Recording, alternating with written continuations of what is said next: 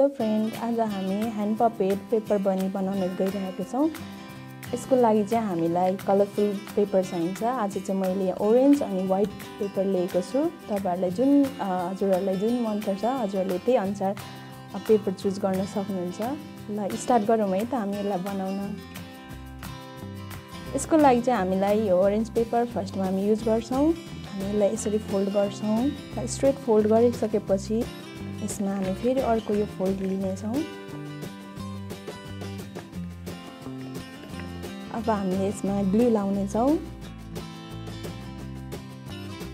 हामी both side glue use गर्नेछौँ। अब हामी यसलाई पेस्ट गरिदिनेछौँ। अब यसलाई बिच भागमा चाहिँ हामी यसरी डिभाइड गरिदिन्छौँ। इक्वल हजुरहरूले हेर्न सक्नुहुन्छ। डिभाइड भइसकेपछि फेरि यसलाई फेरि एक फोल्ड हामी गर्नेछौँ। बोथ साइड हामी यसरी नै फोल्ड गर्नेछौँ। यतिको भइसकेपछि हाम्रो बनी बन्न रेडी भइसकेको छ हुन्छ अब हामीलाई चाहिँ बनीको नोज अनि इयर बनाउनको लागि चाहिँ हामीलाई वाइट पेपर चाहिने हुन्छ। हामीलाई हामी यसरी फोल्ड गर्नेछौँ। अनि हामीलाई अब सिजर चाहिन्छ। हजुरहरूले यो यु सेपमा काट्नुभयो हुन्छ। यसो गर्दाखेरि चाहिँ हाम्रो बनीको नोज चाहिँ गोलो सेपमा आउँछ। हेर्नुहोस् त यस्तो गोलो हुन्छ जो अब हामी यहाँ पेस्ट गर्नेछौँ।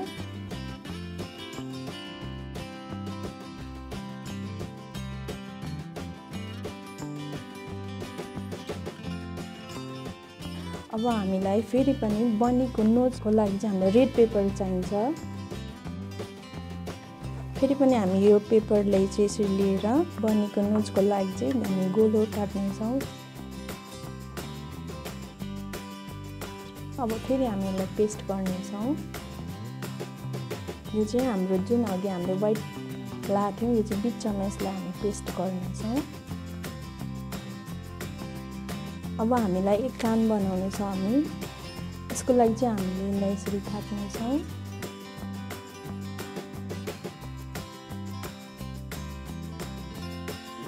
हजुरले यो सेप आउने गरी काट्न सक्नुहुनेछ। फेरि हामीले योभन्दा अलिक सानो सेपमा फेरि हामी यो वाइट पेपरलाई लिनेछौँ। अब हजुरले हेर्न सक्नुहुनेछ हाम्रो पेपर यहाँ रेडी भइसकेको छ फेरि पनि हामीले यो रेड वाइटलाई चाहिँ हामी रेडमा पेस्ट गर्नेछौँ। हेर्नुहोस् त हाम्रो बनीको इयर रेडी भइसकेको छ अब हामीलाई पेस्ट गर्नेछौँ।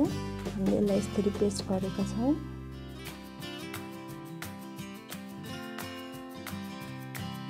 हेर्नुहोस् त। हाम्रो बनी यति भएर रेडी भइसकेको छ। अब हामी बनीको आइसहरू रेडी गर्नेछौँ। यसको लागि चाहिँ हामीलाई अघि के वाइट पेपर हामी फेरि युज गर्नेछौँ। जसरी अघि नोज काट्नु भएको थियो हजुरहरूले फेरि त्यसरी नै आइज काट्न सक्नुहुनेछ। हाम्रो आइज बनाउनको लागि चाहिँ हामीलाई ब्ल्याक कलर चाहिन्छ जो कि हामीले त्यसरी हामी कलर गर्नेछौँ।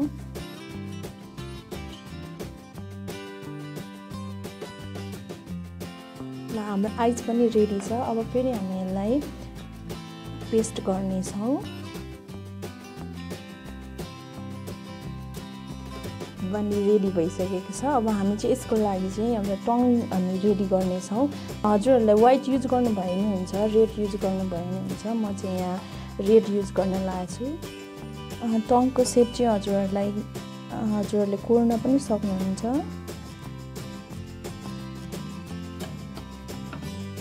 हेर्नुहोस् त हाम्रो टङ पनि रेडी भइसकेको छ अब हामी चाहिँ टङलाई पेस्ट गर्नेछौँ हेर्नुहोस् त हाम्रो बनी रेडी भइसकेको छ हजुरहरूले पनि यसरी नै बनाउन सक्नुहुनेछ र आफ्नो नानीहरूलाई गेम खेलाउनको निम्ति हजुरहरूले यसलाई युज गर्न सक्नुहुनेछ साथी तपाईँले प्रमिस टिभीको आर्ट एन्ड लिटरेचर हेर्नुभएको छ वा हेरेको छु नि मलाई कस्तो राम्रो लाग्छ आर्ट एन्ड लिटरेचर अनि मैले लाइक कमेन्ट सब्सक्राइब पनि गरेको छु नि। र मैले त सब्सक्राइब नै गरेको छैन। म त आज गएर सब्सक्राइब गर्छु। अनि साथीहरू तपाईँहरूले पनि सब्सक्राइब गर्न भुल्नु भएको छ भने चाहिँ आजै गएर सब्सक्राइब गर्नुहोस् ल। ओके साथीहरू बाई